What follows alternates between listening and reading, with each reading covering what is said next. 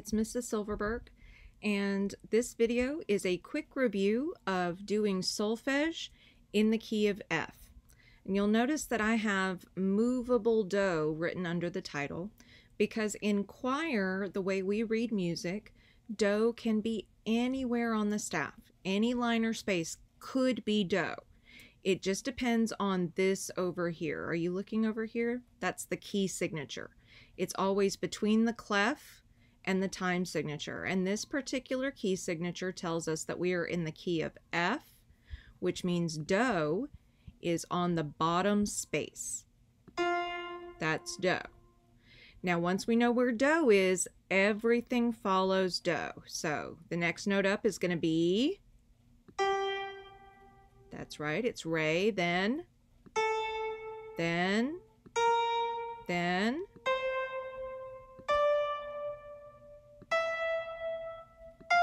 And if you were following along with me, you know that we're back to do, but this is high do, right? And then the whole thing could start over, but you know, we're not going to be screaming tonight. Now, if we start on do and go down, then the note right below do is going to be low ti, then low La, low So,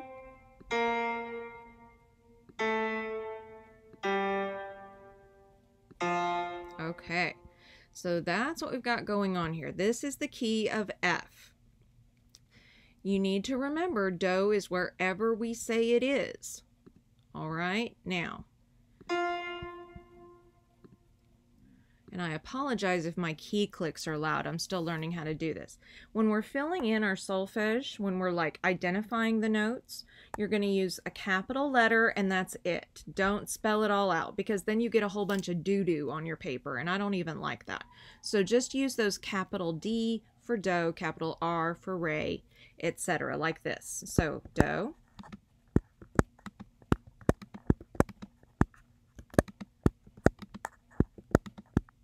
And of course, when we get to high do, we add an apostrophe to show that it's high do. We're back down to our home do now and going down, so we're going to add a, that's right, we're going to add a comma. Very good.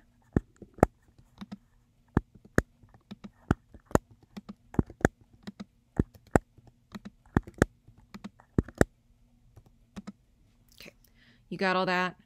If you're confused, go back and watch it again okay? But this is how it works in the key of F. And you notice that it alternates. Note is on the space.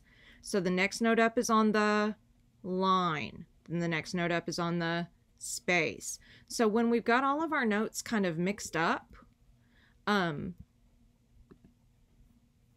sorry, hold on. When we've got all of our notes kind of mixed up, then this really becomes important that you pay attention to which line or space the note is drawn on. So I'm going to write a little melody really quickly, just four measures where they're mixed up, okay? Give me a sec.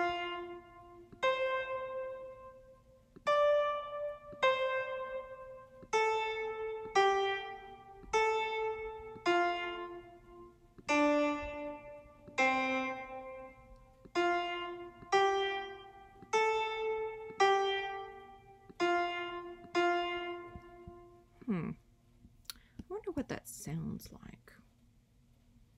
Let's see. If I go to the play button and I get to my little melody here, let's listen.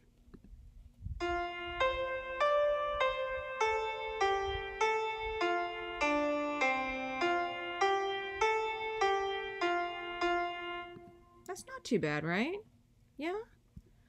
I don't know probably won't win any awards, but whatever. The point is we're going to figure out what these pitches are, okay? So we know that that's do, yes? Sure we do. So that's going to be D for do. Bottom space, key of F, that's always going to be do. But is the next note re? No, it's not. Look how much higher that is. That's not the very next note up like we have up here. That's like way up high. It's on the third space. So which pitch is on the third? oh, I see it. It's so. Yeah? Now, the very next note from there, is it higher or lower? It's higher, yeah. But is it a little bit higher or a lot higher?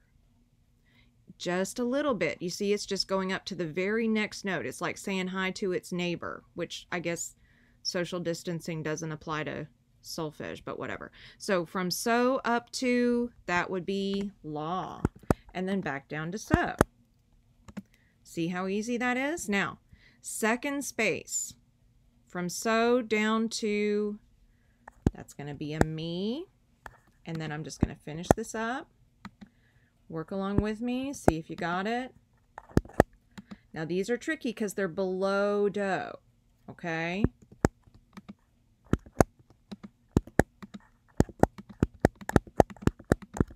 Okay. So when we're labeling the pitches, you need to know where do is and then go from there. That's really all you need to do. So watch this video as many times as you need to to do the assignment in the key of F. Do is on the bottom space.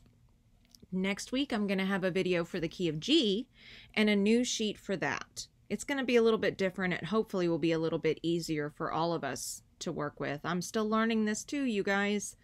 So come back and watch again if you need to, or, you know, heck, if you just want to pretend like we're in class together again, because I miss you guys. And uh, I really hope we get to be together soon in some way. But I'm going to sign off for now. I'm going to say goodnight. It's almost 10 o'clock, which, you know, for old ladies like me, that's like 2 in the morning. So I hope you're all well, and I know you're all wonderful, and I'll talk to you soon. Bye bye.